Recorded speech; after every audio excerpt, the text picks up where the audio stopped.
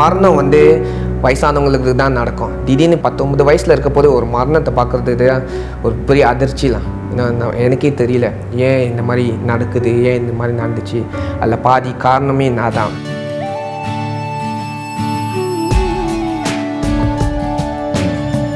வாழ்க்கையின் பாதை வாழ்பவர் கையில் வானத்தின் நீர் துயரங்கள் மறந்தால் நம்பிக்கை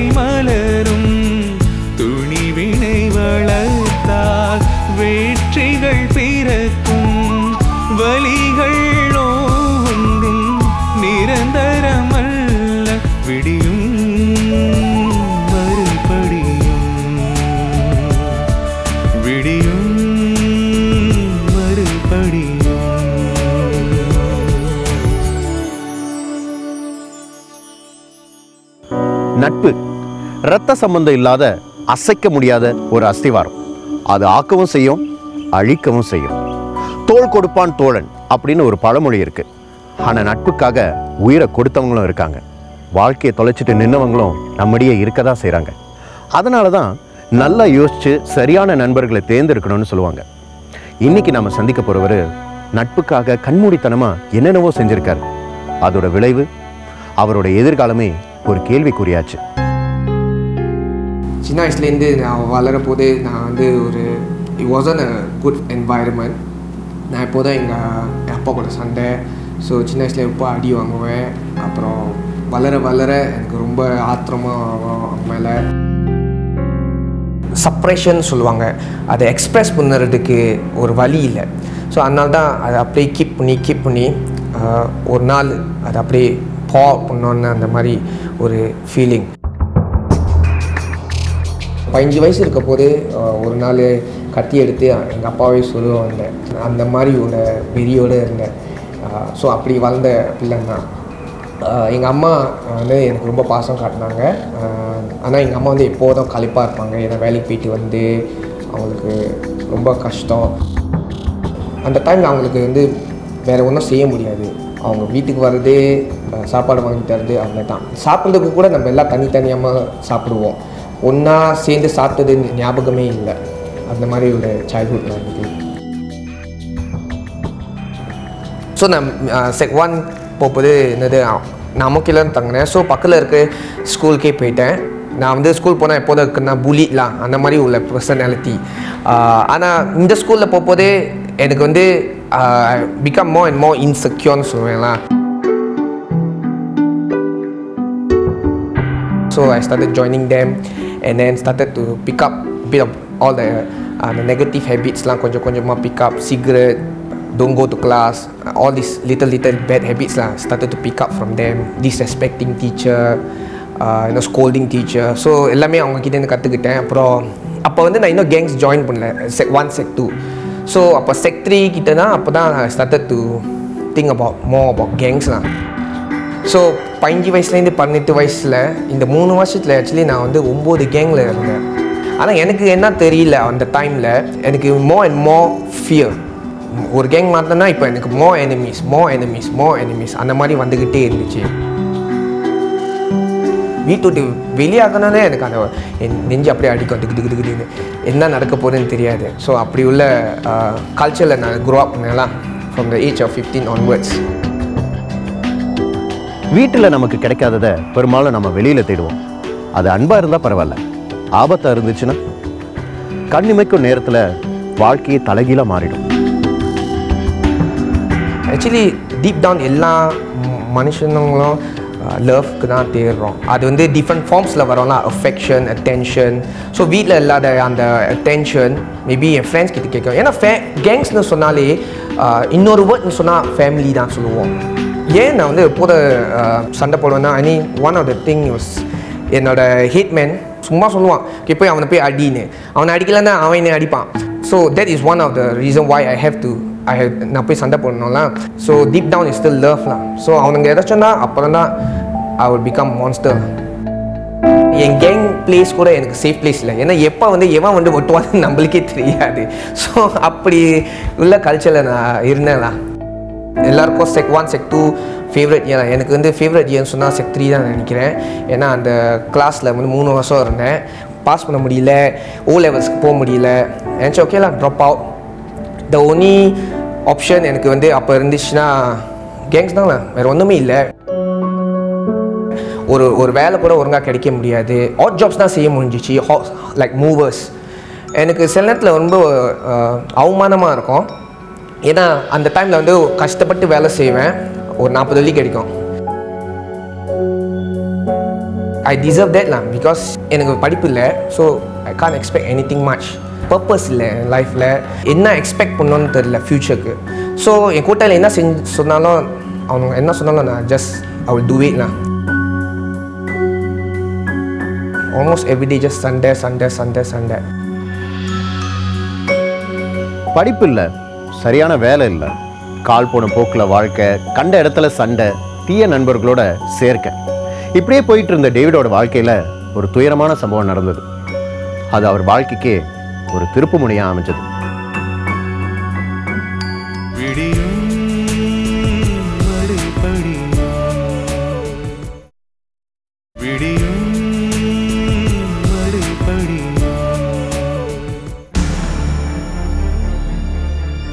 so the year two thousand get எம்பூஷனா so சுற்றிட்டானுங்க சுற்றி என்னது எல்லாம் பாறாங்களோட வந்து ஒட்ட ஆரம்பிச்சிட்டானுங்க.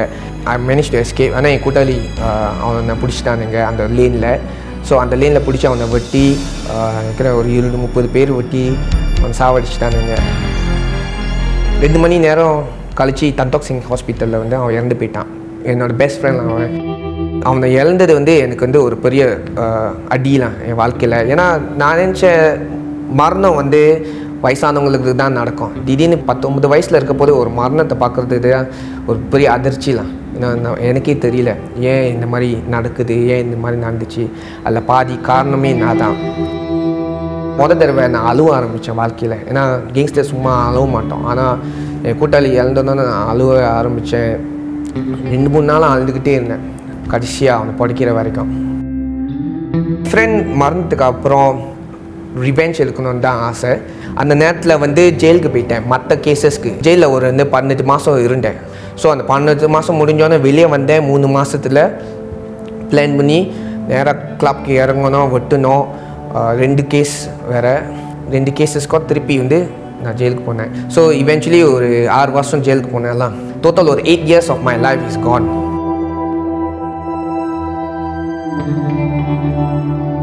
பதினெட்டு strokes of the cane so அது வந்து ஒரு பெரிய பெரிய இஃபெக்ட்லாம் ரீசன் இன்னும் ரோத்தான் வாங்க போது அது ஒரு பெரிய எக்ஸ்பீரியன்ஸ் ஃபர்ஸ்ட் டைம் அவன் அடிக்க போது அந்த தோல் அப்படியே பறந்துச்சு.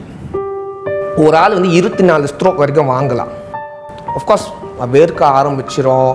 என்னது மனசு என்ன அடிச்சுக்கிட்டே இருக்கும். எப்போ வெளுக்க போகிறான்னு தெரியாது. யார் அடிக்க போகிறான் எங்கேருந்து அடிக்க போகிறான் ஒன்றுமே தெரியாது. அப்படி போய் பண்ணிட்டு ரோட்டான் வாங்கிட்டேன். வாழ்க்கையில் நமக்கு ஏதாவது பெருசாக நடந்துச்சுன்னா அது நம்மளை ரொம்ப யோசிக்க வைக்கும். தன்னோட உயிர் நண்பனோட மரணம் கூட அவரை யோசிக்க வைக்கல. ஆனால் சிறையில் அவர் அனுபவித்த அந்த தனிமை அவரை ரொம்பவே யோசிக்க வச்சது. ஸோ ஜெயிலில் இருக்க போது எனக்கு ரெண்டு சாய்ஸ் இருந்துச்சு. ஒன்று வந்து படிக்கிறது இல்லைன்னா போய் வேலை செய்கிறது ஸோ நான் ஜெயிலில் வந்து வேலை செய்யலாம். வேலை செஞ்சதா எனக்கு வந்து எல்லாமே ஒரு ஒரு ப்ளெஷர் அங்கே. ஸோ நல்ல சாப்பாடு அங்கே. டைம் வந்து சீக்கிரமாக ஓடும். புது ஆள் பார்க்கலாம் வேலை செஞ்சுக்கிட்டே இருக்கலாம் ஒர்க் ஷாப் வேலை. ஸோ முக்கால்வாசி பேர் எல்லாம் வேலைக்கு போவாங்க. ஆனால் நான் நினச்சி பார்த்தேன் இதெல்லாம் வந்து இப்போ வந்து எனக்கு வந்து அந்த ப்ளெஷர் இருக்கும். சந்தோஷமாக இருப்பேன். எல்லாம் என்ஜாய் பண்ணலாம். ஆனால் long term I'm going suffer so நான் படிக்கணும்னு யோசித்து பார்த்தேன். அதனால தான் நான் சைன் அப் பண்ணேன் படிக்கிறதுக்கு. ஆஃபீஸு கிட்ட போய் ஸ்கூல் டெக்ஸ்ட் புக் கேட்டேன். ஃபைனலி எனக்கு ஸ்கூல் டெக்ஸ்ட் புக் அடித்தோன்னே ரூமுக்கு போய் இன்னும் திறந்து படிக்கணும்னு அப்போ தான் ஞாபகம் இருந்துச்சு. எனக்கு பேனா பென்சில் இல்லைன்னு. ஸோ எப்படி படிக்கிறது? So the only way to study வந்து is using my mind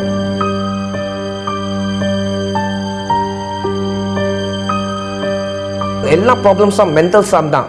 answers போய் பார்ப்பேன். முடியலன்னா பரவாயில்ல. ஒர்க்கிங் வந்து எல்லாமே என் மைண்ட் வச்சு செஞ்சுக்கிட்டு இருப்பேன். ஸோ எவ்ரி டைம் நான் மைண்ட் வச்சு செஞ்சு செஞ்சு செஞ்சு செஞ்சு இந்த ஹோல் புக்கே முடித்தேன். அந்த டைமில் ஃபார்ட்டீன் மந்த்ஸ் பாஸ் பண்ணி என்னை ஸ்கூலுக்கு அனுப்புனாங்க. ஸோ நான் ஸ்கூல் கிளாஸ்க்கு போகும்போது என்னோடய வைஸ் பிரின்சிபல் அங்கே சொன்னாங்க நீ வந்து செக்த்ரி கிளாஸ்க்கு போகணும். நான் சொன்னேன் இல்லை என் லெவல் கிளாஸ் போகணும் செக்த்ரி ஆரம்பிக்க முடியாது. அவன் சொன்னானுங்க நீ செக்த்ரி பாஸ் பண்ணவே இல்லையே. எப்படி போக முடியும்? நான் சொன்னேன் ஓகே டீச்சர் எனக்கு ஒரே ஒரு டெஸ்ட் பேப்பர் கொடுங்க என் லெவல் ட்ரை பண்ணி பார்க்குறேன் நீங்கள் பாருங்கள் எப்படின்னு. ஸோ சரின்னு சொல்லி அவனுங்களும் எனக்கு என் லெவல் டெஸ்ட் பேப்பர் கொடுத்தாங்க. மேத்ஸ் அண்ட் இங்கிலீஷ் ஸோ நான் அட்டைம் பண்ணி கொடுத்தேன். அவனுங்களே shock ஆகிட்டானுங்க results and straight away next week நான் என் லெவல் கிளாஸில் இருந்தேன். ஸோ நம்மளுக்கு யாட் டைம் வந்து படிக்க போது ஒரு டூ ஹவர்ஸ் யாட் கொடுப்பாங்க. யாட்னா என்னென்னா வந்து ஒரு எல்லாருக்கும் வந்து ஒரு பாஸ்கெட் பால் மாதிரி காட் மாதிரி இருக்கும். ஸோ நம்ம போய் பாஸ்கெட் பால் விளாட்லாம் எக்ஸசைஸ் பண்ணலாம். கொஞ்ச நேரம் டிவி பார்க்கலாம் அந்த இடத்துல. அது ஒரு ஒரு லெஷர் டைம் மாதிரிலாம் நம்மளுக்கு கொடுப்பாங்க. Two hours of yard exams times வரப்போகுது. ஓ லெவல்ஸ் வந்து நான் வந்து கஷ்டப்பட்டு செய்யணும்னு எனக்கு ஆசை. அந்த வெறி இருந்துச்சு படிக்கணும்னு. ஸோ மூணு மாதம் முன்னுக்கு நான் வந்து ஆஃபீஸர் கிட்டே போனேன். அதே ஆஃபீஸர் தான். போய் படிக்கணும்னு சொன்னேன். நான் வந்து என்னை வந்து மூணு மாதம் என்னை லாக்அப் பண்ணி வை. அந்த ரெண்டு ஹவர் யாட் கூட எனக்கு வேணான்னு சொன்னேன். ஸோ அப்படி இப்படி எனக்கு கொடுத்தான் கொடுத்தா மூணு மாதம் யாட் போகாமல் ஸோ படித்து படித்து படித்து என் ரூம் வந்து ஸ்மால் ரூம் தான். ஆனால் என் ரூம் கூட எல்லாமே பெயிண்டட் நானே சொந்த பெயிண்டிங் வச்சுருப்பேன். எல்லாமே என்னோடய மைண்ட் மேப் என்னோடய நோட்ஸ் கலர் நோட்ஸ் எல்லாமே வால் போகிறான் ஸோ ஆஃபீஸை பார்க்க போட எல்லாம் பார்ப்பானுங்க. என்ன மண்டை ஓடிட்டானு. இந்த எல்லாமே பிக்சர் பிக்சராக இருக்கும்.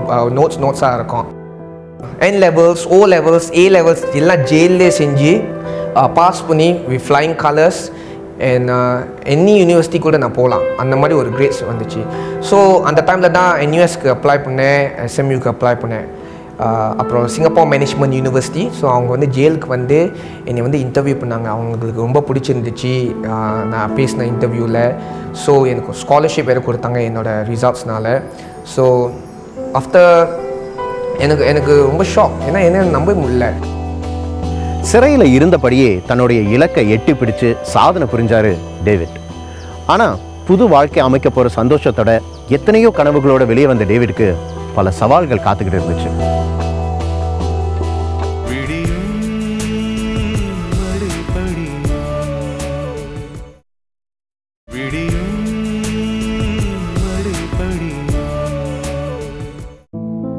ஆஃப்டர் எயிட் இயர்ஸ் ஜெயிலில் இருந்தே எட்டு வருஷம் இருந்தே இப்போ வந்து படிக்க போகிறேன் நான் ஜெயில் விட்டு வெளியே ஆகின மொதல் நாள் எங்கள் அம்மா வந்தாங்க. என்னை வந்து பிக்கப் பண்ணுறதுக்கு எனக்கு ரொம்ப எக்ஸைட்டடாக இருந்துச்சு. ஓகே புது வாழ்க்கை புதுசாக ஆரம்பிக்க போகிறேன் மொதல் தடவை எங்கள் அம்மா வந்து எனக்கு ஒரு ஈசெக் லிங்க் கார்டு கொடுத்தாங்க. அது என்னன்னு கூட தெரியல. பார்த்ததே இல்லை ஈசெக் லிங்க் கார்டு எப்படி பஸ் எடுக்கணும்னு கூட எனக்கு தெரியல. மொதல் தடவை ஸ்கூலுக்கு போனேன்.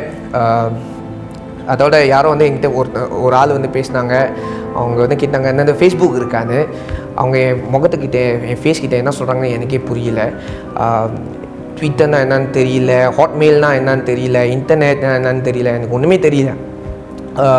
கிளாஸ் ரூம் போனேன் எல்லாருக்கும் அவனுங்க எல்லாம் கூட்ட கூட்டமாக இருந்தானுங்க. Poly friends JC friend army friend எல்லாமே அவனுங்க ஃப்ரெண்ட்ஸாக இருந்தாங்க. ஸோ எனக்கு பே ஆள் கூட பேசுறது கூட ஒரே ஒரே பயம். ஏன்னா மொதல் கேள்வி என்ன கேட்பாங்கன்னா எந்த ஜேசியிலேருந்து வந்தேன் எந்த பாலிலேருந்து வந்தேன்னு. அவங்கக்கிட்ட எப்படி போய் சொல்லுறது? நான் கக்கி புக்கி ப்ரீசன் ஸ்கூல்லேருந்து வந்தேன்னு. ஸோ அதனால் யார்கிட்டும் பேசுறது இல்லை பயம். ஏன்னா தெரிஞ்சிட்டு நான் ஜெயிலேருந்து வந்தேன்னு அப்புறம் எல்லாமே என்னை ஒதுக்கி வச்சுருவானுங்க. லேப்டாப் கூட எனக்கு வந்து அப்போ யூஸ் பண்ண தெரியல. அவனுங்க என்னன்னா லேப்டாப் திறந்தோன்னே அவனுங்க ஸ்டைலே அப்படி சும்மா ப்ரொஃபஸர் பார்த்து மூஞ்ச பார்த்துக்கிட்டே அப்படியே அடிப்பானுங்க. டேங் டேங் டேங் டேங் டேங்க்கு டேங் டேங் டேங் டேங். ஸோ அப்படியே போவானுங்க. நம்ம வந்து போனால் அந்த ஸ்பீடில் தான் போகணும். ரொம்ப slow so life was so டிஃபிகல்ட்ல அந்த டைமில் எனக்கு எனக்கு மண்டே ஓடிட்டு. ஸோ அந்த தேர்ட் டே மூணாவது நாள் என் வீட்டில் காலையில் எந்திரிச்சேன் அழுவ ஆரம்பிச்சிட்டேன். நான் ஸ்கூலுக்கு போகிற மாதிரி இல்லை. இது முடிஞ்சுது. இதுக்கு மேலே படிக்க முடியாது. யூனிவர்சிட்டி வாழ்க்கை எனக்கு ஒத்து வராது. அங்கே ரொம்ப காம்பேட்டிட்டிவ் ரொம்ப கஷ்டம். ஒரு பிரச்சனையில் மூழ்கி அதிலிருந்து மீள வழி தெரியாமல் தவிக்கிறப்ப நம்ம பெரும்பாலும் ஒரு தவறான முடிவுக்கு தான் வருவோம். அதைத்தான் டேவிடும் செஞ்சார்.